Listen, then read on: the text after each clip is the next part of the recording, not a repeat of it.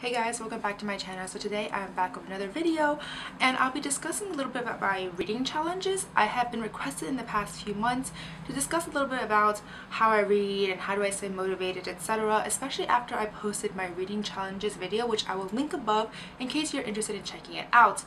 But basically I indicated in the video that I want to read at least 250 books for 2018 and I've gotten a lot of requests since then, especially about how do I read so much and what are my reading habits so I'm going to be discussing all of that stuff in this video today.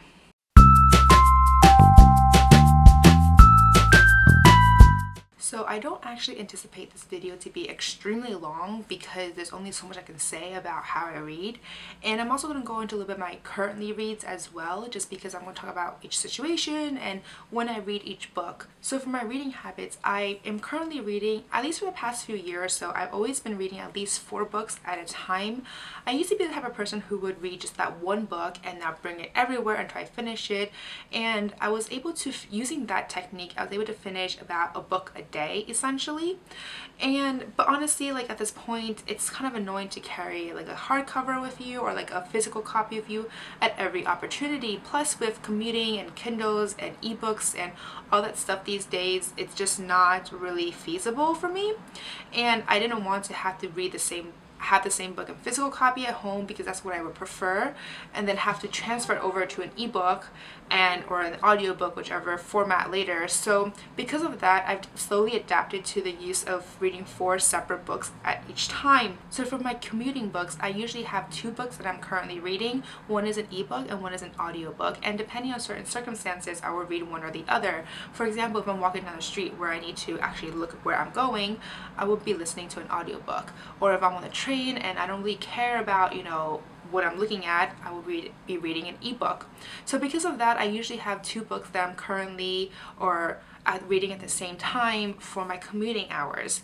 And that usually lasts I mean I live about 40-ish minutes from work. So back and forth I mean that's over an hour already. It's like an hour and a half essentially. Not to mention every time I run errands or if I'm doing something like cooking for example all that stuff uh, where I can just pay attention to an audiobook or something like that I use all of my free hours to really be able to listen to audiobooks or read an ebook so the ebook that I'm currently reading is called Battle Dress by Amy E. Fall and it's actually a really good book. I'm about halfway to three quarters of the way done at this point and it's a bit about a girl who gets sent or she enrolls herself into a military school aka West Point. And she learns to, to deal with discipline, following orders and all, how to be a soldier etc and she really learns how to you know be a female in a male dominated world. And it's actually really interesting. I thought there would be some romance involved in it but at this point I don't see any romance in it at least maybe maybe in the future I don't know. I'm still only like halfway or so done but I really like it so far it's actually really interesting to see how you know these cadets deal with all these rigid rules and how to follow orders and be a soldier as well as be a leader you know so definitely recommend that book as of right now. As for my audiobook, I'm currently listening to Cress by Marissa Meyer. For those who have not watched my In Love-a-thon Readathon TBR, um, I'll link it above for those who are interested. But I basically started the Lunar Chronicle series so now I am on book three. And as of right now I love it. It's so good. I think I am according to my audiobook I have about five hours left on this book and then I go into my final book so which is like 20 something hours like 24 hours or something something crazy. But so far I really really like it. I definitely recommend it. Definitely worth the hype so the next book that I read at the same time is my lunch book which is probably the slowest book at least the slowest pace that I read in terms of all the books that I read. And that's because for lunch during work I usually go to the gym. So that's really my like my lunchtime and then when I come back and eat lunch I'm not really I can't really read a book after because then it'll be like two hours later or something. Uh, I don't think my boss would be very happy if I spent like two hours on lunch. Or I go out and eat out or I just walk around or something. So the chance of me or like the time I actually spent sitting at my desk and eating and reading is actually quite rare like maybe once a week or something. And because of that I don't really spend too much time on my lunch book and I don't really read it as fast. So sometimes if you are my Goodreads account there's always that one book that takes me like a month or two to finish and that is usually most likely my lunch book. And the lunch book that I'm currently reading is Teenage Waistland by Lynn Biederman Spider-Man.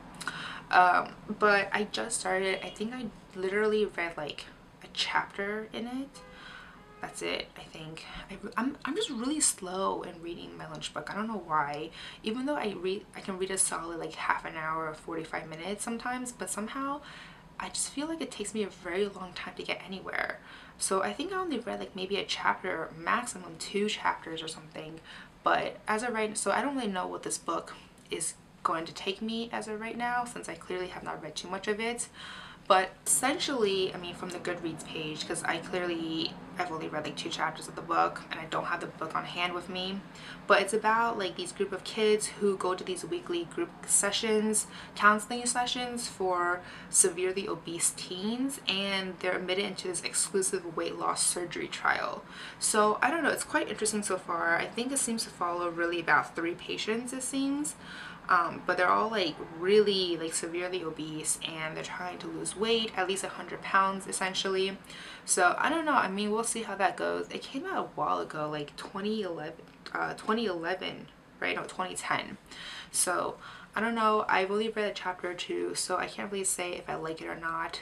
I might even DNF it after a while. I don't know we'll see. And then finally moving on to my final book, the fourth book that I currently read at the same time of all the other ones is the book that I read at home. And this usually accounts for reading when I am, you know, eating or at like dinner or if I am like reading right before bed or etc. The book I'm currently reading at home is Reckoning by Kerry Wilkinson. I actually have the third book in this series which is why I had to check out the first and second book. I haven't read it before and it's really good so far. It started off kind of slow. I'm about a little over halfway but it's about a girl who lives in kind of a dystopian world and her country is divided into the north, south, east, and west. And each section is kind of in charge of certain different things and there's offerings and she got selected to be an offering to the king. And people don't know what offering means in terms of what they do exactly. There are all these wild stories, but they don't really know what's actually true. So this book is really interesting actually. It didn't really get interesting until she got to the palace as an offering. Prior to that, I wasn't really getting into the book and it took me a few days to get to that point. But now that I did, it's really, really good. So I guess my biggest secret to reading all these books and so quickly is the fact that I utilize all of my time in reading. I really don't spend too much time and not doing anything. I'm not the type of person to just lie in bed and just kind of days you know like i'm not that kind of person. Some people can do that but that's not me. I always need to be doing something whether that's watching a movie watching a show listening to a book reading a book or whatever. I need to always be doing something. Like i'm really bad at not doing something. And in terms of where i get my books from i think i believe i actually did a video on this already. I will link it above if i remember correctly but I mostly get them from publishers authors as well as audio obviously audiobooks. I get them from Audible and audiobooks.com and I also get a lot from the library. I use utilize the library a lot, especially ebooks nowadays. I once I got the Overdrive app to work on my phone, it was super easy. Like I am able to check out all these books at the same time and return them right away. It's super fast, like really convenient. And because of that, like most of the time I get books from the library nowadays, except for the books I get from publishers and authors. I get a lot of those as well. So two things I do want to point out is how I like reading slumps. You know, I know that a lot of people have reading slumps and I do too. There are definitely times when I don't feel like reading, especially when I, like I mean, as I mentioned, I don't really, I basically utilize all of my personal free time in reading or like watching shows or whatever. I don't really let a second or a minute go by without doing anything. I mean, I even listen to audiobooks while cooking because I feel like well what am I going to do? Like I'm just going to focus on cooking? Like of course I could do something else at the same time. Like I'm really good at multitasking.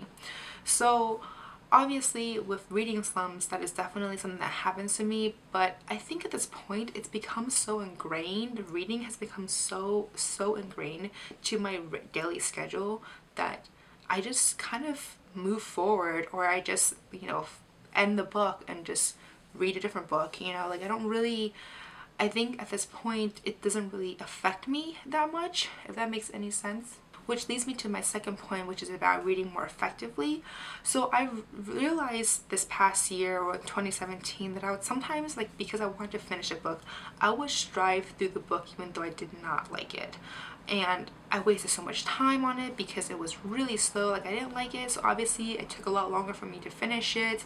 And I just felt like at the end I was not I didn't feel great about it I felt like I wasted my time so now for 2018 one of my personal things I believe I mentioned this in a previous video is if I felt that if the book is not getting my attention within the first like 50 or so pages, I mean give or take, um, then I'm not going to finish it. I'm not going to waste my time on this book anymore. And I know that some books do take a while to, you know, pick up, which is why I give myself time like enough time and I feel like once it, once it reaches a certain point in a book like once you reach like a third of the book in which I think most of the book these days are like 300 so pages if I get up to like 100 pages and the book is still boring and I'm not getting I'm not finding myself engaged in it then I don't think it's gonna get any better after a while so with that in mind, I'm not going to be spending all this time reading a book that I don't like, especially with audiobooks. They're so long.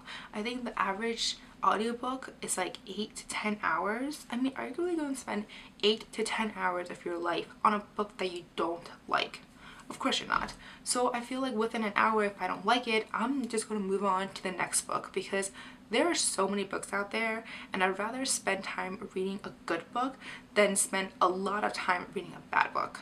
So, I mean, that's just my take on it. So because of that, I realized I've been reading a lot more effectively and efficiently this past few months than I've had in the past. So yeah, that's basically all I have to say for this video. I hope this video helped you in terms of, you know, utilizing your time more effectively, reading more efficiently, um, getting how to get rid of reading slums with like a reading habit, etc. I hope this helped in any way or fashion.